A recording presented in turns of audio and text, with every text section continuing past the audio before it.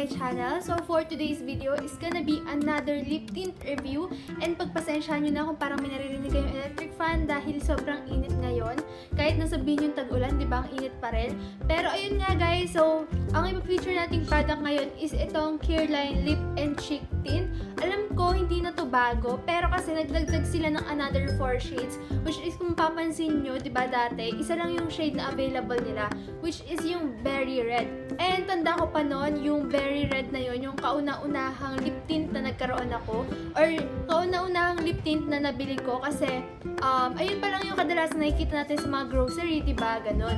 So, ayun, buti na lang nag-add sila ng panibagong 4 shades, pero ngayon guys, dalawa lang yung mapapakita ko sa inyo, or ma-isa-swatch ko, kasi dalawa lang naman yung product na meron ako.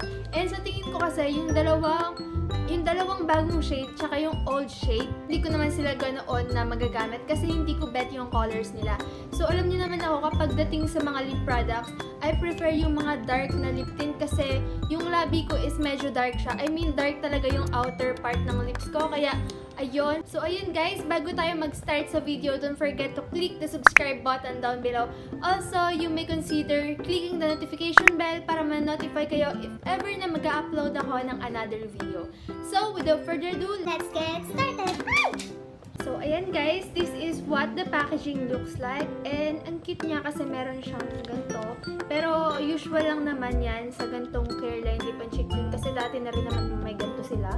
And buti nga, binago na nila yung nandito. And ayan na, yung pinaka-packaging ng mismong tint. So, dito guys, sa bagong packaging, nakalagay na yung kanilang um, parang color indication. Tapos yung shade name. Although meron din naman dati, pero wala yung color na color indication na katulad nito. Nakalagay, all imported and 100% skin friendly. Enriched with vitamin E. Tapos yung kanilang pangalan, which is yung Careline Lip and Cheek Tint. Hi dito guys! Careline Lip and Cheek Tint is the hottest craze in town. It's specially formulated for girls who want to look fab all the time. It has special pigments that give a dynamic translucent color and ultra staying power. O, kailangan ano, long lasting daw sabi. So, instantly transform dull complexion into a natural beauty with just a glowing hint of color. Or into a glam diva with a deep sensual stain depending on the amount applied. Plus, it has vitamin E to keep your skin healthy and great looking. And then uses Tapos lip and cheek may mga warning and directions, ganyan-ganyan. So, ayan guys, yung makikita nyo, ito is 95 pesos. Makikita nyo dito guys, meron lang siyang 12 months of lifespan upon opening. And sabi dito, cruelty-free and paraben-free na rin siya. So, made in China. So, natin siya and kunin natin itong lip tint mismo. So, ayan. Ayan yung itsura niya. Ang ganda ng ano, ang ganda ng gantong design. Buti na lang binago nila yung nag-repackage sila. Kasi dito makikita nyo sa screen yung dating packaging nito.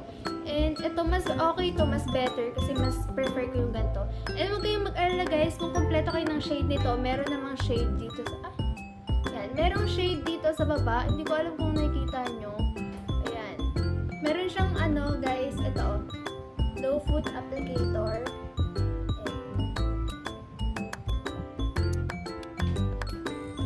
Medyo plum na pa-purple na yung Kung mapapansin nyo, parang same lang yung kanilang color. Pero ito guys, is parang may pagka-violet na siya or plum color. Tapos ito is parang reddish pink yung kanyang color. And ang ganda niya, dun sa formula niya, may meron siyang pagka-gel base.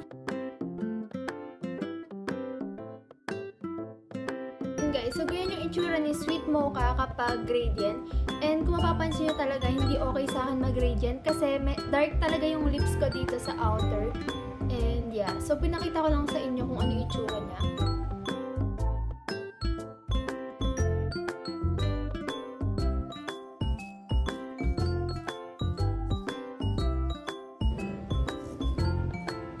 Okay, so mabilis naman siyang matanggal. Pero, ayan o, nag-iiwan siya ng stain.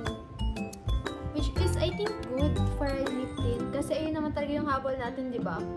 Mag-iwan siya ng stain, tapos, um, pag nag-iwan ng stain, masasabi mo talaga na, ano, kahit matanggal siya, hindi mo kailangan mag-retouch. Kahit matanggal siya, okay lang, maganda pa rin.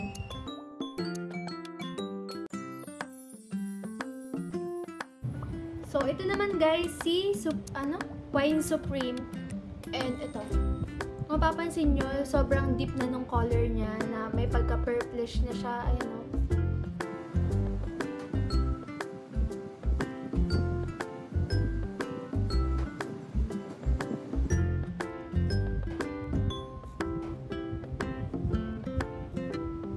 Ayan guys, so itong mga shade pala na napili ko eh, sobrang deep na nila and kaya ko to napili kasi morena ako. So, ayun. And tsaka dark nga yung lips ko. So, kung katulad nyo ako, kung may dark lips din kayo or kung morena kayo, I think ito talaga yung marirecommend kong shades which is Sweet Mocha and Wine Supreme. Kagandahan dito guys, parang ano, na-moisturize niya pa rin yung labi ko. And hindi, wala akong nararamdaman na mabigat sa kanya. Sobrang lightweight niya actually. Tapos, nagiiwan din siya ng stain which is I think um, good yun para sa akin. Tignan natin kung transfer proof siya.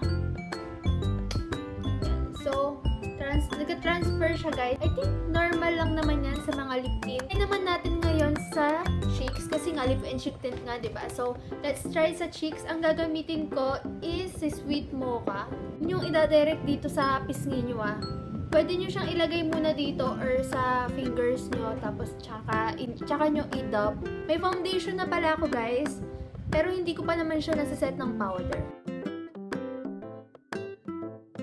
Okay, so ito yung napansin ko, hindi siya ganun ka-opaque or ka-pigmented pag ina-apply sa cheeks. Sabi, sabi rin naman sa claim niya, kaya wag kayong mag-expect ng ano, sumasabog talaga. Pero okay na okay to sa mga beginner, di ba? Or sa mga teens, or pwedeng pwede itong lip tint na to kapag papasok kasi mukha lang natural yung binibigay niyang blush. In fairness, hindi naman niya namumove yung aking foundation. Mapapansin nyo guys, medyo kinakapalan ko kasi nga 'di ba hindi pa ako nakapag-set ng powder. And alam ko naman na kapag sinet ko na to ng powder, medyo matatakpan na siya. Kaya para maging opaque pa rin yung color, kapalan ko na. Siset ko lang ng powder yung aking face. Gamitin ko lang is itong Vice Cosmetics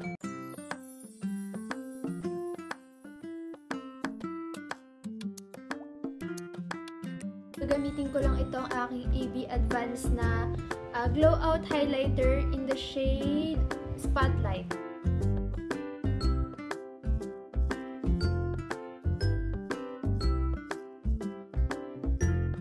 matapos ang ating nakakabulag na highlighter, proceed na tayo sa ating final verdict dito. Careline Lip and Chic Tea. Ito yung kauna-unahang lip tint ko dati. And hindi na ako nag-try pa na umulit kasi parang hindi ko nga bet masyado yung shade na berry red. So, buti na lang nag naglabas sila ng bagong shades. Parang ito nga lang yung mga shade na hindi, you know, pang everyday. Pero okay naman. Sobrang lightweight niya.